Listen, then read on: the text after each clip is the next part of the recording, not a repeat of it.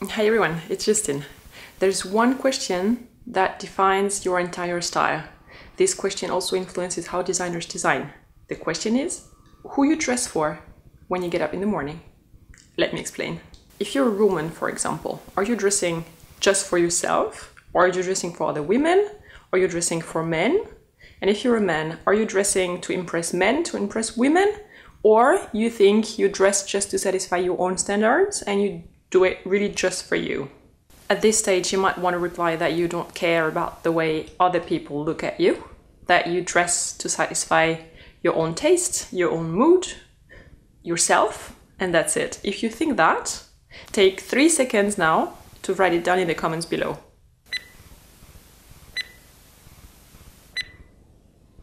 Now, here's my opinion. I think barely anyone gets dressed for himself or for herself. You're always dressing to impress or seduce others, or even to tell them, I don't care about the way you look at me, but in doing that, you're still talking to other people. Proof point. If you spent a whole week alone in a house in a completely lonely place and you knew nobody would look at you, how would your style look on day seven? In my case, as far as I'm concerned, I'd be really honest with you. I'd be wearing pajamas and certainly no makeup. You can call it peer pressure or society pressure, but I mean, it's, it's true. We have to admit that if there's really nobody in the room to judge us, would be much more casual and go for comfortable stuff instead of thinking about what goes together and how to highlight our silhouette. Now, here's the thing brands and clothing brands play with that learning all the time. Example Victoria's Secret, right? They tell you it's for a strong woman who knows what she wants, who's self confident. Seriously? I mean, they're obviously playing with a woman who wants to seduce a man. The underwear is not comfortable, the fit is ridiculously tight. Who would wear that to sit on a couch and watch TV? Here is a little game to support my point. You see here four options. Rank them in the order that women prefer to wear to sleep. So you rank the options from the preferred one to the least like one to wear to go to bed. You have three seconds. Here's the solution. It was a survey conducted in France, but yeah, women wouldn't generally wear sexy underwear to go to bed. It's just not comfortable. Gentlemen, I'm sorry.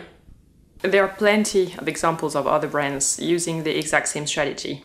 So Diane von Furstenberg, who lives in New York, and her wrap dress, Christian Dior and his new look style with padding all around, Balmain's Warrior Girls with bones and structure everywhere. It's not really comfortable to move, is it? Tom Ford suits, if you're shopping for men. They are all designed and conceived to impress the desired gender, after all. Okay, and once you know that, you understand better how designers actually work. If I'm designing for a woman who dresses to impress other women, then I need angles, broad shoulders, strong shapes, hard fabrics.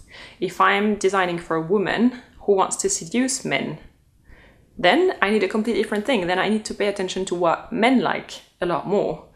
I'm taking cliches here, but just to give you an idea, skirts should be shorter.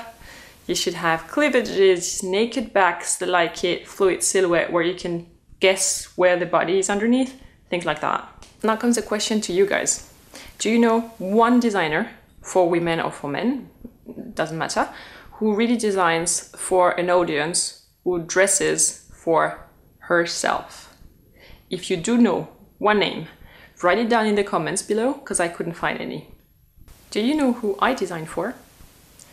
The woman in my mind is dressing for other women. She's telling them, I'm not competing with you. I'm not even part of the competition.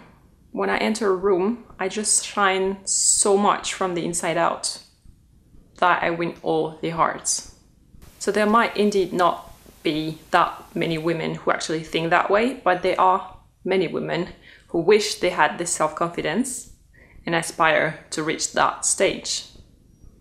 And fashion is about aspiration and inspiration. So it's good to have a little bit of dream. a little slice of projection into a wish future because it's what makes fashion different from a 50 cent piece of cloth. If this video got you thinking, give it a thumb up. Thank you so much.